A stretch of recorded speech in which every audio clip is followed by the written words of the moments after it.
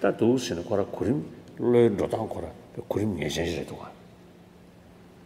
So if you look at the teachings and practices of the three capacities, uh, the sequence of the order is really definite because um, um, one cannot jump onto the practices of the middle capacity and high cap- in, uh, great capacity without laying the foundation of the initial capacity. So, um, and also, if you look at it, um, uh, what is happening in the in the context of these three practices is that uh, by engaging in the practices that are relevant to the initial capacity, the practitioner learns to uh, turn away from obsessive concerns about uh, con- you know this life and moves you know more towards the concerns of the future life. So that turning, uh, that kind of turning uh, occurs on the basis of the practices of the initial capacity, and then on the next level, by reflecting deeply upon the uh, the nature of suffering in, in, in samsara, then the person is also able to turn away from attachment and preoccupations to the you know, concerns of next life as well. So then, on the basis of these two, turning away from preoccupations, excessive preoccupations of the concerns of this life and the future life, one then is able to develop a, a deep sense of disenchant, disenchantment towards cyclic existence as a whole and develop a genuine uh, uh, yearning or aspiration to gain freedom and also uh, uh, uh understand the need for freedom. So, so once you have gained that, and when you then uh, shift the focus and extend that same awareness and realization onto other sentient beings, then compassion arises. And then it takes you to the next level, which is the practices of the great capacity. So, even in terms of the, the way in which our mind progresses in terms of the stages of transformation, the order of the sequence is kind of uh, determined. Mm, yeah. In the Lamrim literature, um, sometimes the expression, the phrase is used that um, one of the qualities of the Lamrim teachings is that um, it is beneficial and effective with respect to uh, practitioners of any level of mental capacity. And uh, the point here is that uh, um, depending upon what is your uh, kind of, you know,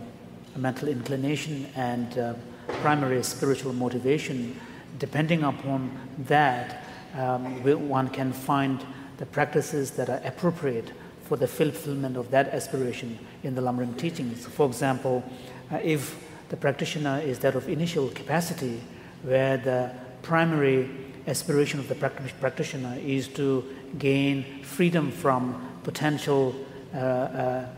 uh, suffering in an unfortunate realm of existence in next life, then within that context, um, that practitioner can um, uh, relate to the Dharma uh, from within the frame of, of in, in, fact, the Four Noble Truths. So here, the suffering that needs to be identified is the evident suffering, particularly of an intense form, and that are found in the uh, um, unfortunate realms of existence. And then the origin of suffering here would be uh, the negative actions that one would commit that involve uh, inflicting harm upon others. Uh, so that would be the karmic action. And then the afflictions would be not the three poisons in general, but rather the more specific forms of them the covetousness, harmful intention, and wrong views. And so these will be the kind of the equivalent of the afflictions. So, and then the path uh, the equivalent of the path would be the adopting of the morality, abstaining from the 10 negative actions would be the path. And the cessation would be the temporary freedom that one will gain as a result of uh, attaining a, a, favorable rebirth. So you can see within that context, uh, all the Four Noble Truths can be present. And in fact, the aspiration is to seek uh, freedom from, uh, uh, you know, negative, uh, unfortunate, you know, rebirth. Therefore, that is the aspiration, and all the the practices and conditions that are necessary for the realization of that aim are all fully present presented in in the context of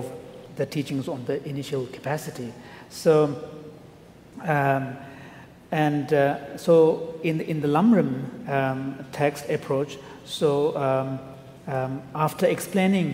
the sufferings of the lower realms of existence, then the actual practices are presented um, in terms of taking refuge in the three jewels and from whom you seek free, you know, uh, refuge from the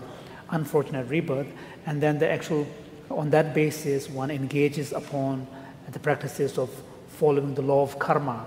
Um, and um,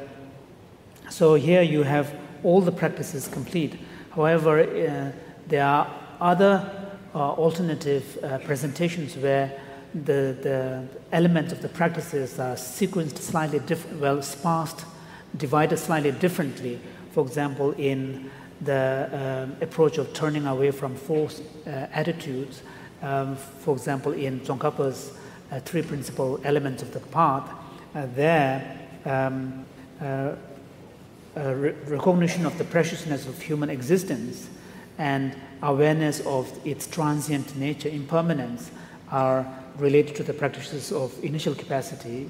and then contemplation of the law of karma and reflection upon the sufferings of the lower realms are actually included in the practices of the middling capacity, where these are used as a basis for developing a deep sense of disillusionment towards samsaric existence and cultivating true renunciation. So sometimes different approaches tend to divide the elements of the teachings slightly differently, but in Lamrim, uh, in this text, um, all of these are brought into the practices of the initial capacity. So there is a total, there is a completeness to the entire practices. Oh, yeah,